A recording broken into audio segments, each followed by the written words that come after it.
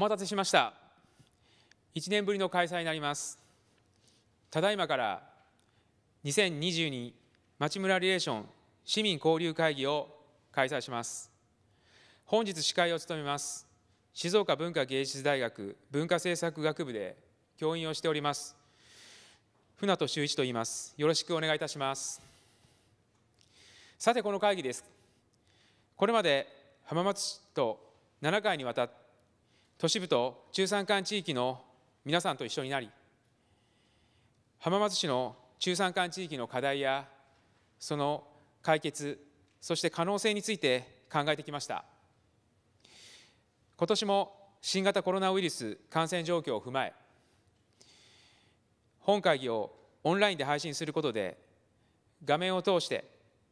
地域の内外の方々と一緒に中山間地域について考えていきたいと思っています。不慣れな点が多いかと思いますがご理解いただくようお願い申し上げます。それでは早速本日の内容を簡単に説明させていただきます。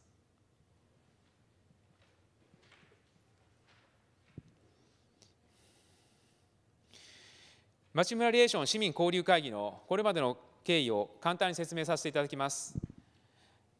すでに開催目的については簡単にお話ししましたが中山間地域の課題や可能性について市民全体で考える機会を創出するそういったことがこの会議の目的です。2015年から今年を入れて7回開催してきました。以下がこの表を見ていただければこれまでの開催の経緯がわかるかと思います。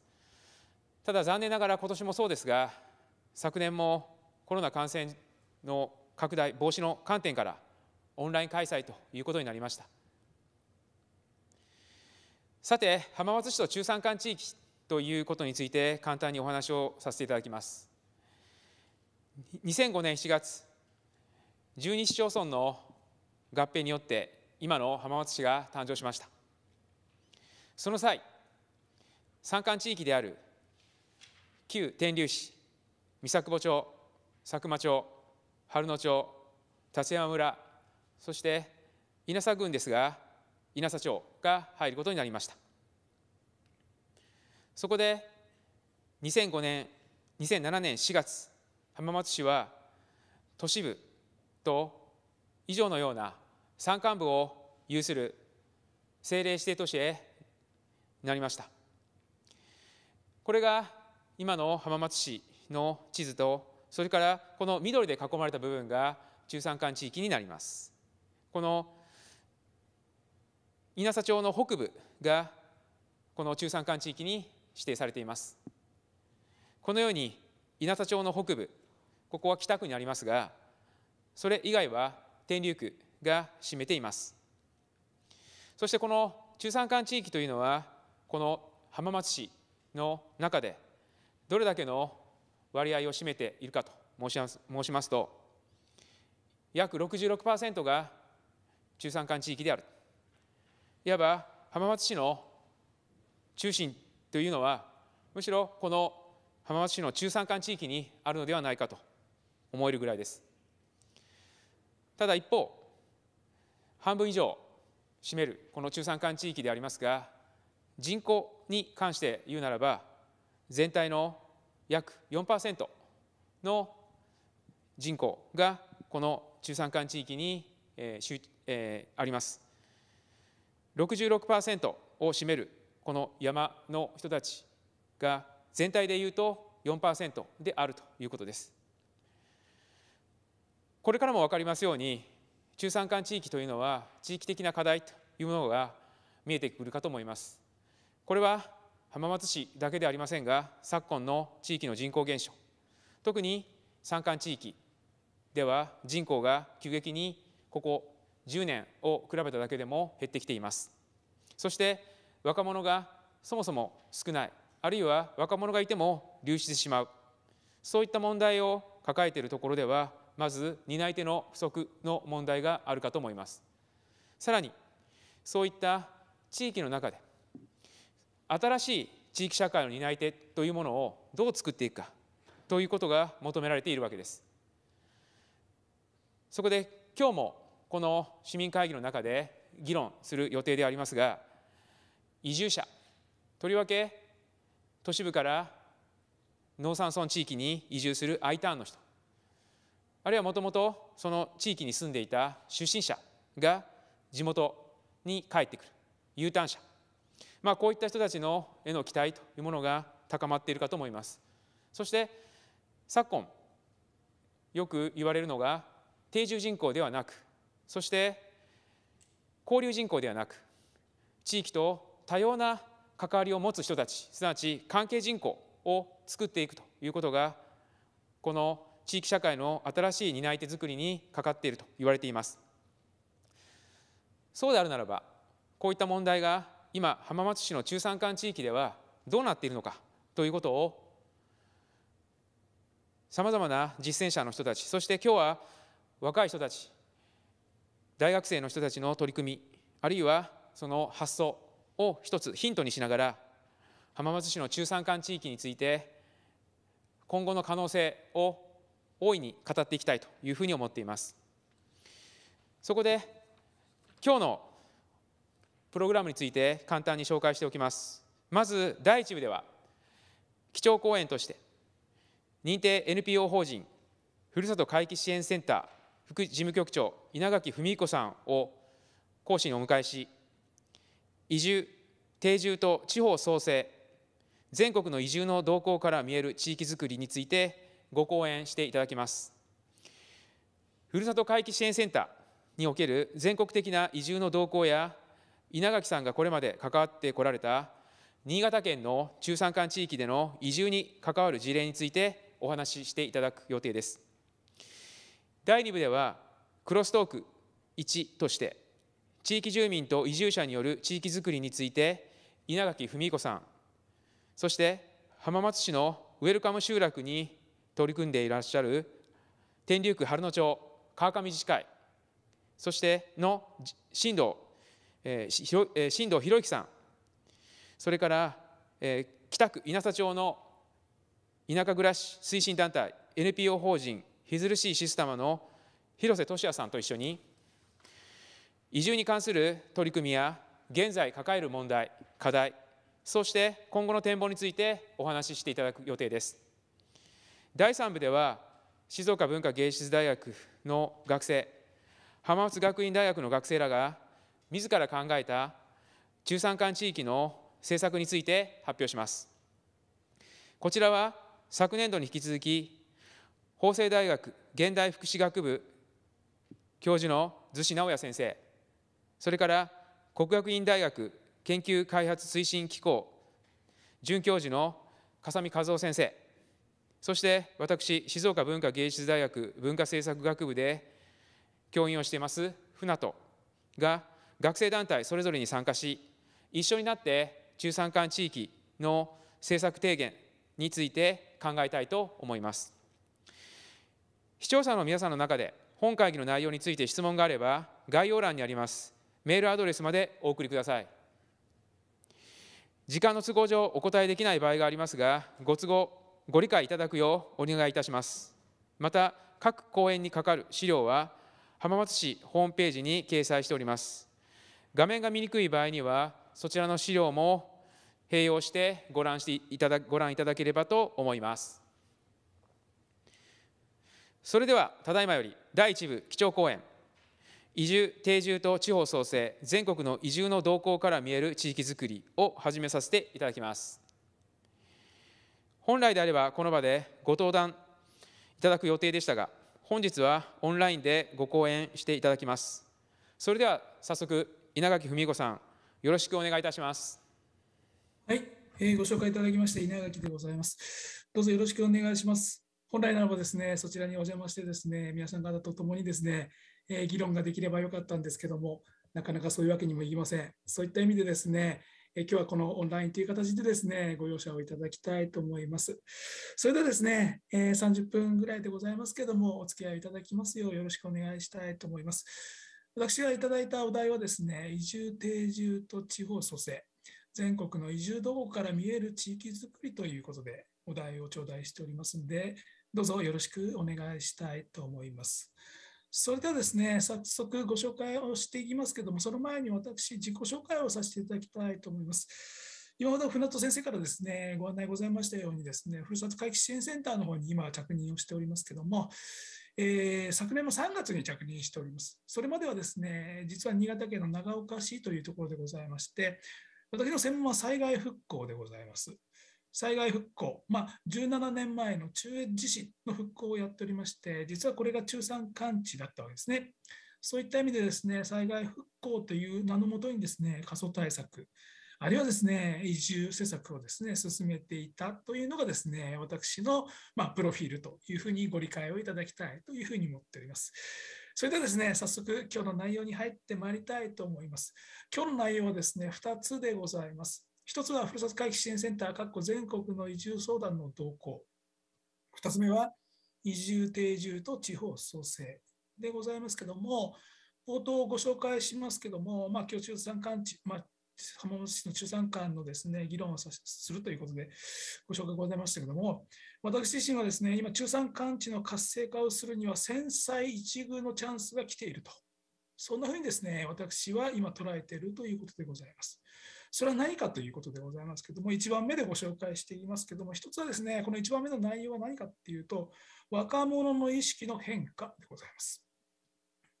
そして2番目、これはですね、その若者の意識の変化を捉まえながらですね、中山間と地域とですね、この若者が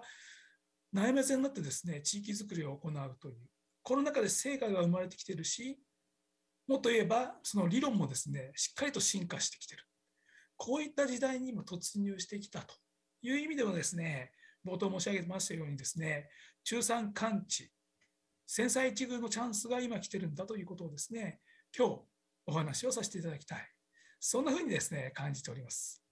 それではですね、早速、まずはですね、ふるさと回帰支援センターの移住相談の動向ということでですね、お話をさせていただきたいと思います。ご覧いただきたいと思います。詳しくグラフはですね、ご紹介しませんですけども、ずっと私どものふるさと回帰支援センター、全国の移住相談をやっておりますけども、ぐーっと右肩上がりで伸びてきているということでございます。えー、実はまあ昨年はですね、ご存知のように2020年で新型コロナがございましたんで、閉館をするなんていうことがありまして、えー、1年間は少し数字が下がっておりますけども、また今年、速報値ではですね、えー、このような形の伸びを示しているということでございまして、過去最高のですね、えー、相談件数を数えた2019年を上回るですね、数字を2021年が、えー、上回っているということでございます。そういった意味で私どもとしては、この地方に向いている目、あるいは移住の風は吹いてるぞというのをですね、現場で実感しているところでございます。これは実は皆さん方のお手元に資料ありませんかもしれませんけども、私どものセンターでですね、えー、首都圏向けにですね、アンケート調査をしたところでございます。ここではですね、首都圏に住む1都3県でございますけど、ここに住む人たちにアンケートをしたらですね、約12.3%の方がですね、地方に移住したいという気持ちがあるということ、分かってまいりまして、これをまあ人口換算すると約309万人いるっていうのがですね、分かってきたということでございます。次にこれはですね、私どものふるさと回帰支援センターの相談、どんな世代が相談をしているのかということでございますけれども、赤枠をつけはつけさせていただきました。2017年以降、現在もそうですけども、20代、30代、40代、この若い人たちの移住相談が増えている。こんなふうにですね、確認ができるところでございます。そういった意味では、私どものセンターとしては、移住相談がぐっと増えている。その中でも若者が増えているっていうことがですね、現場の中で捉えられているということでございます。そういう中で私が今、移住相談の中で感じているキーワードは3つございます。1つがワーク・ライフ・バランス。2つ目が地域貢献。3つ目が脳ある暮らしです。ワーク・ライフ・バランス。これここにもございますけれども東京に出てきて10年家賃の高さと生活のしにくさの要因で移住を検討なんていう話がありますけどもねえ、ご家族を持っていてお子さんを持っていてもですね自分が帰宅してる頃にはですねお子さんは寝ていてお子さんの寝顔だけを見るだけそんな暮らしからですね、少し自分の時間を大切にする。いや、もっと言えば家族との時間を、暮らしを、生活を大事にする。このようなですね、ワークライフバランスを考えている方々が、実はコロナ前からそんな風に感じてたんだろうけども、このコロナっていう中でですね、顕在化してきた。そういう方々が増えてる。そんな風に捉えております。それから地域貢献。今日、後ほど大学生のお話があるというふうに伺っておりますけども、最近びっくりしますけど、若い方々が地域貢献ということをキーワードに挙げています。地域のために、地域の役に立ちたい。こういうことをお話をされる若い人が増えています。それは生まれ育ったふるさとではなくてですね、見ず知らずの地域でもいいんですね。まあ、そういう中でですね、地域の役に立ちたいんだということ。これは深読みすると、地域とつながりたい、人とつながりたい。あるいはそういった地域の中でですね、顔の見える関係の中で承認を得たい、役割を担いたい。こんなような若者の欲求が出てきているのか。そんなふうにですもも推察できるところでございます。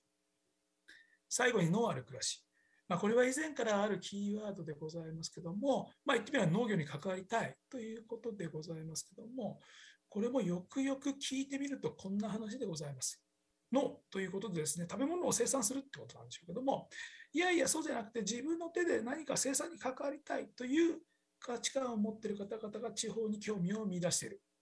そんな感じでございますね。ですから、伝統工芸だとか、そういったことにもですね、興味を持っている方もいらっしゃるんだろうというふうに思っています。私もですね、実は27年ぶりに都会での生活をやっておりますけども、ここで気づいたことは一つでございます。都会ではね、消費ばっかりしてるんですね。田舎では生産の場面にも携わるんですけども、都会は消費ばかり。すべてのものを何かで買う。サービスを買う。こういうことですね。そういったところじゃなくて何か自分で生み出す生産に関わりたいという方々が地方に動き出している。こんな風に感じているわけです。そんな話をですね、この前、外言の指出さんと話してましたですね、指出さんらしい回答が出てまいりました。あ、今の若い方はこういう価値観なんじゃないの？環境に負荷をかけたくないんだよ。もっと言えば、自分が生きてる、そういうことによって、生活をすることによって、地球環境に負荷をかけていきたくない。まあ、言ってみれば SDGs、あるいは今の気候変動、そういったですね、そういったところに敏感の方々が地方に赴いている、そんなような感じを見受けてしてるお見受けしております。私自身、若い世代の価値観の変化をこんなふうに捉えているわけでございます。現在の世代は、現在世の中にですね、3つの世代が同時に生きていると思っております。1つが逃げ切れる世代。2つ目が逃げ切りたいんだけど逃げ切れない世代。3つ目が逃げ切れない世代。どの世代がどこで生まれたかということをですね、日経平均のグラフの推移でですね、表しているわけでございます。もう直感的にお分かりいただいたでしょうか？何かというとですね、今の社会システムがですね、右肩上がり、つまり人口増加、経済成長の前提のもとにシステムが作られている。それが人口減少する中でですね、あるいは経済がなかなか伸び悩む中で、ぎしぎしと音を立てている。こんなことを今、世の中で起きてるんだろうと思います。そういう中でも従来の社会システムに守られて逃げられる逃げ切れる世代があって、実は私54なんですけども、本当は逃げ切りたいんだけど、多分逃げ切れないだろうなと思っています。今の若い人たち、30代、いや40代以降はですね、もう逃げ切れないと分かっています。その社会システムに頼ってもしょうがないなというふうにですね、感じてる。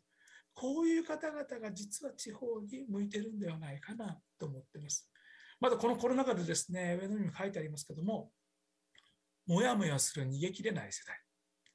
親は安定した大企業に入れって言うけど、本当でそれでいいの？なんてもやもやしてるわけですね。プラスアルファコロナ禍でもやもやする世代の広がりということで、ステイホームで私の人生これでいいの？なんて考える方がですね、増えてきたということでございます。今日お聞きの大学生もそんなかんあの感じをですね、持ってらっしゃる方もいらっしゃるんだろうと思います。でもですね、あまりにも逃げ切れない世代っていうのはですね、ネガティブな言い方ですから、私自身はしなやかな世代って呼んでいます。自分の生き方をですね、しなやかに変えながら、自分自分が自分の豊かさっていうものをですね、いろんな場所でですね、捉えながらですね、しなやかに柔軟に考えている。こういう方々がですね、今地方に向き合い始めてるんじゃないか。そんなふうに感じている今日この頃でございます。若者の価値観の変化ということをですね、冒頭ご紹介をさせていただいたわけでございますけども、これからですね、移住定住と地方創生ということでですね、お話をさせていただきたいと思っています。私、実はですね、会期センターの前にですね、新潟、あの長岡市ですね、新潟稲カレッジというですね、大学生のインターンプログラムをですね、ずっとやってきた人間でございます。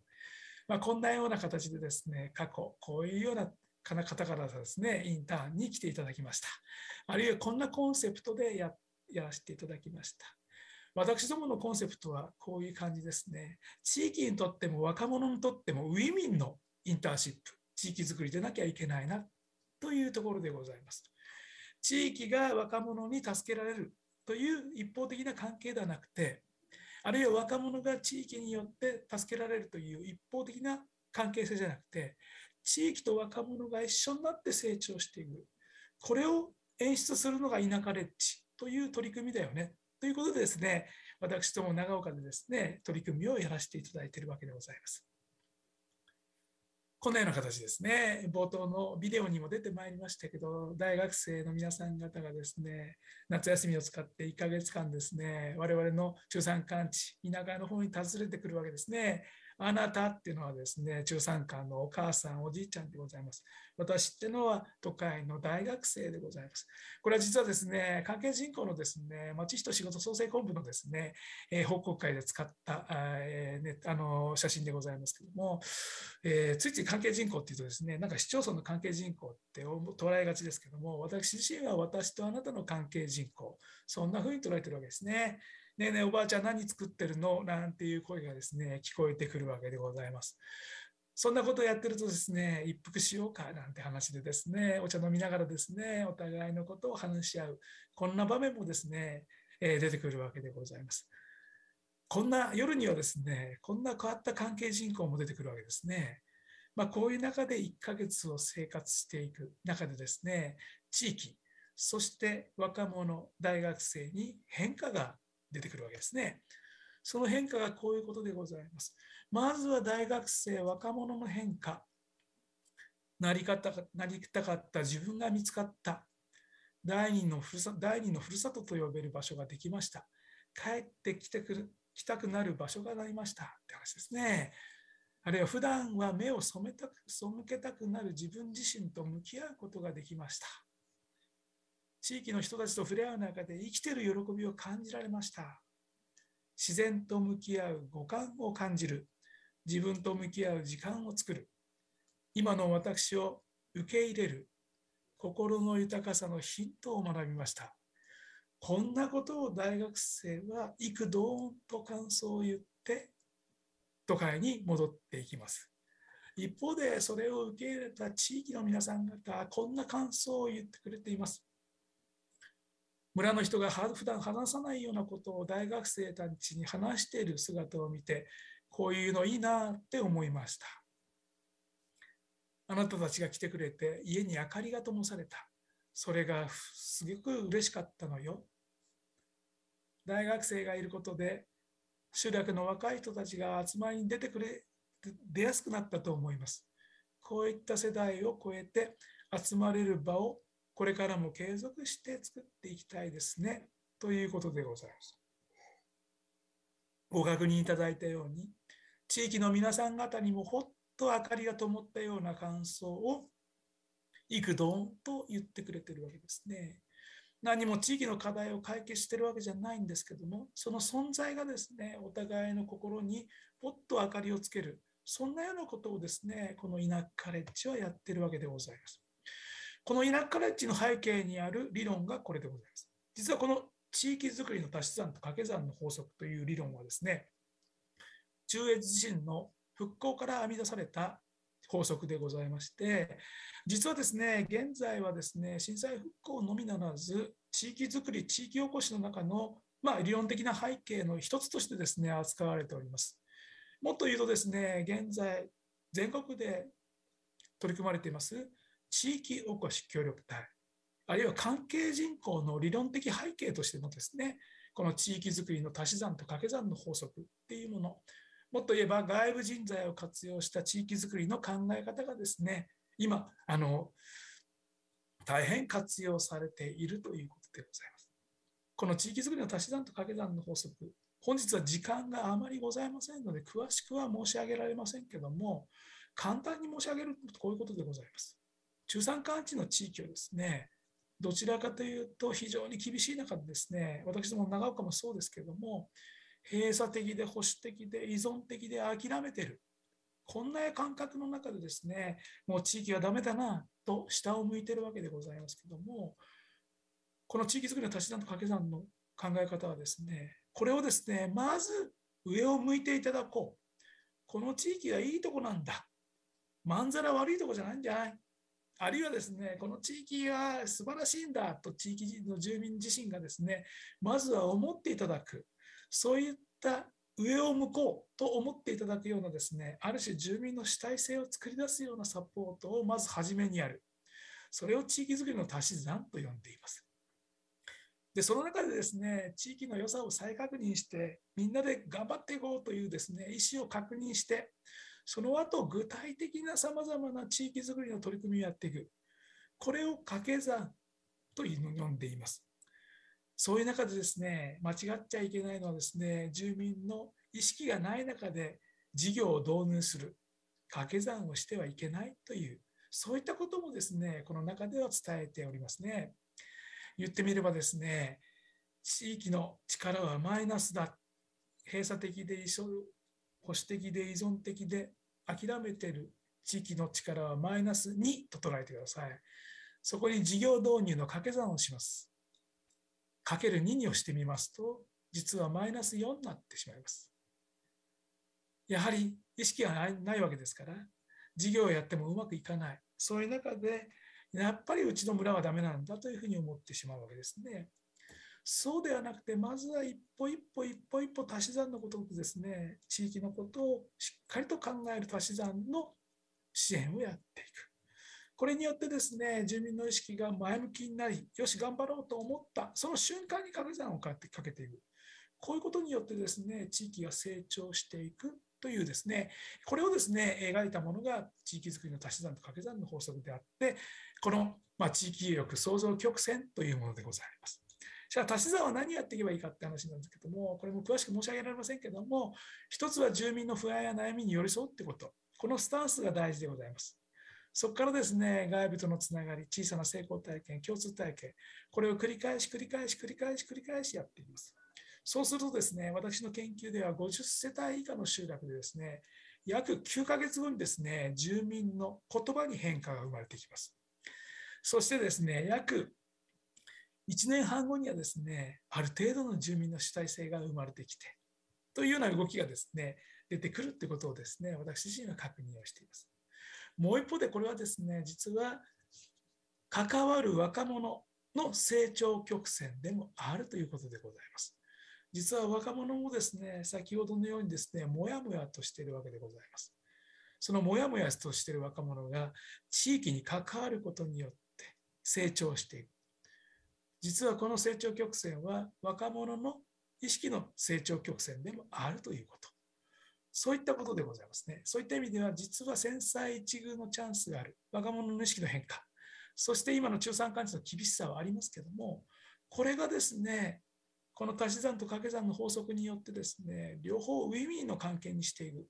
こういう取り組みが今全国各地で地域おこし協力隊、関係人口、あるいは大学生を活用した地域づくり、さまざまな場面で行われている。そんなふうに認識しているわけでございます。さあ、最後に整理をしてまいりたいと思います。逃げきれない世代、かっこしなやかな世代、かけるたくましい田舎ということでございます。これはですね、実は後半に出ていただいてます、法政大学の逗子先生の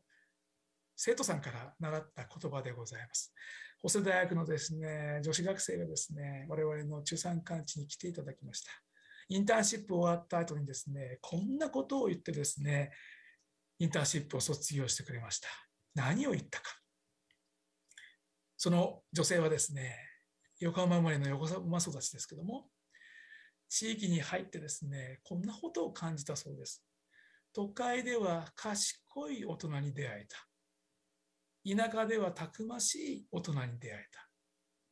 私はたくましい大人になりたい。だから卒業してまたこの地域に戻ってきますね。というですね、挨拶をしてインターンを卒業してくれました。まさしくこの子供が今の中産館を表しているんではないかと思っています。私は中産館はたくましい田舎だというふうに思っています。そういった意味では、この逃げきれない世代、しなやかな世代のモヤモヤ、そしてたくましい田舎、このいわゆるですね、モヤモヤ、これがですね、掛け算をされることによってですね、実は新しいイノベーションが生まれている。それが現代なんだろうというふうに思っています。先ほどのしなやかな世代とたくましい田舎が足し算的な関わりをする中でですね、成長していくというふうに申し上げましたけども、この成長、今時点はですね、私自身はこんなふうに整理をしています。地域の皆さん方、あるいは学生さん、若い人たちもですね、その足し算的な関わりをする前はですね、どうも他人の物差し、世間の物差しで自分を評価している。あるいは地域を評価してるんですね。東京に比べて浜松の田舎だからダメなんだ。なんていうですね、他人の物差し。あるいはですね、学生さんもですね、あの同級生と比べてですね、就職活動をしっかりやってないからダメなんだというですね、ある種世間の物差し。こういう物差しの中で自分を比べてしまってる。こういう中でモヤモヤが起きてるんですけども、実はこの地域と若者たちが関わることによって、その中でぐっと成長している方々は、自分の物差し、地域の物差しを確認できている。そんなふうに感じてるわけですね。地域の物差し、おらんとかいいとこなんだなって、おらんとこは楽しいぞと。そんなふうに地域の人たちは自分たちの地域の物差しを持って地域を見るようになっていきます。あるいは若者たちも自分の物差し、自分はこういった形でいいんだということの物差しを見つけていくわけですね。ある女子学生はこんなことを言ってくれました。実は就職前にですね、田舎レッジに来ましたなんて話ですね、もやもやしてたんです。田舎レッジ来てよかったですって。なんでかってですね、それまではですね、自分の幸せっていうのは一本レール、一つのレールしかないと思っていた。いい大学に入っていい就職をすること。ここから一つでもずれたら幸せじゃないと思っていた。レールから外れないようにするので精一杯だった。そんな風に言ってました。ただ、田舎歴を体験する中で違うと思ったんだと。幸せのレールはいくつもあるんだということ。あるいはその幸せのレールはですね、外れたとしてもいくつでいつでも変えられるんだということが分かった。そういうふうに分かったからこそですね、自分が大事な、大事にしたいことが分かってきたって言ってくれました。田舎歴に卒業した後ですね、実は大手医療企業にですね、勤めてくれました。なんでかって言ったら、若いうちにしか体験できないことを今やっていますって言ってですね、目標を持って就職をしてくれた、そんなようなことをですね、言ってくれた学生もいてくれました。そういった意味でもですね、この逃げきれない世代、若い人たちとたくましい中の掛け算によってですね、さまざまな地域づくりが生まれてくる中で、新しい人口減少社会のですね、新しい仕組みづくり、あるいは新しいですね、何かが生まれてくる。そんな風に感じ取ってる次第でございます。そしてさらに言うとですね、地域の物差しで地域に誇りを持って地域の方々が生活していれば、そこのものは売れるでしょうし、そこに関係人口は増えるでしょうし、そこに移住者も増えてくるでしょう。やはりその地域づくりが原点となって、さまざまな好循環も生まれてくる。これは間違いないというふうに思っております。私どもセンターの移住ランキングでもですね、こういった誇りを持って地域づくりをやっている地域が人気がございます。そういった意味でも、ご当地浜松でもですね、そういった取り組みが進められているというふうに伺っておりますので、後ほどの事例発表の中で楽しみに聞かせていただきたいと思っております。ちょうど時間でございます。私からのお話以上で終了にさせていただきたいと思います。ご清聴いただきましてありがとうございました。はい、ありがとうございました。え今の報告につきまして、えーと、メールで質問を受けております。えー、その質問内容について、えー、稲垣さんに、えー、ちょあのお答えしていただければと思います。えー、漠然と都会を離れて田舎暮らしをしたいと考えている20代女性からです。なかなか移住に踏み切れないのですが、移住される皆さんの決め手は何かありますか？ということです。よろしくお願いいたします。はい、ありがとうございます。ご質問いただきましてありがとうございます。皆さんそうです。漠然と地方に行きたいなっていうところから始まってるんですね。で、決め手はですね、こう言ってしまうと、あのー、誤解されてそれかもしれないですけど、人です。人との出会い、人との共感、これが最終的な決め手なんですけれども、その人に出会うという意味でもですね、まずは漠然のことでも結構ですから、誰かにこう相談してみるとかですね、あるいはちょっと気になった地域に出向いてみるみたいなですね、そんな自分からのアクションをしていただくことが大事かなと思っています。どうしたらいいかなって分かんない場合はですね、ぜひ私どものセンターにもですね、お越しいただきたいと思います。我々、漠然と思っている方々にもですね、しっかり向き合って相談をさせていただきますので、まずは人のつながりを作っていただく、それが大事なんではないか、そんなふうに思います。以上です。はい、えー、あのご回答ありがとうございました。まあ、いろいろあの悩んでらっしゃる方結構いると思うんですね。えー、昨今やっぱりあの、えー、移住したい、えー、という希望を、えー、持たれる方、そういう願望を持たれる方は確実に増えている。えー、そういった人たちを実際に、えー、と現地の方まで、えー、と移住してもらうというアクションまで動かしてもいくということは、まあ、並大抵のことではないと思いますが、まあ、そういった、まあ、スキルあるいはそういった具体的なプロセスといったものを、え、稲垣さんの話から、え、伺うことができたのではないかというふうに思います。はいえーとりあえず質問の回答はここで終わりまして、え以上をもちまして第1部を終了したいと思います。ただいまより5分間の休憩を取りたいと思います。それでは第2部でまた皆さんにお会いしましょう。ありがとうございました。